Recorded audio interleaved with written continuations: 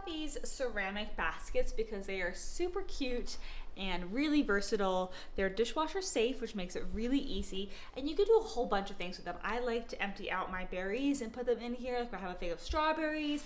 Um, I also will maybe sometimes empty out my eggs and put them in here because it's just a little bit more aesthetic and it's nicer and they're easier to grab. Um, you can just put them in your refrigerator. So I think there's a lot of different ways that you can use these and I highly recommend um, these if you're looking for a little bit more of an aesthetic option for your kitchen organization.